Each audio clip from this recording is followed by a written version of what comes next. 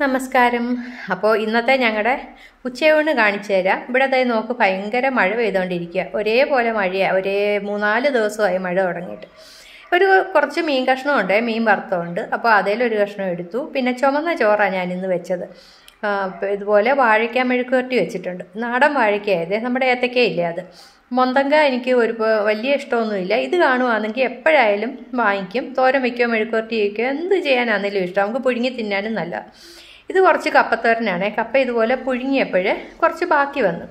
അപ്പോൾ ഇതുപോലെ അരിഞ്ഞിട്ടിട്ട് നമ്മൾ അരപ്പിട്ട് കടുവും വറുത്ത് തോരനാക്കി എടുക്കും പിന്നെ അധികം വേവാത്ത കപ്പ ഇങ്ങനെ തോരൻ വയ്ക്കാൻ ഭയങ്കര രുചിയായിട്ടോ നമ്മുടെ വീട്ടിലിങ്ങനെ റെഡിയാക്കുന്ന ഒരു ഐറ്റമായത് കപ്പത്തോരൻ.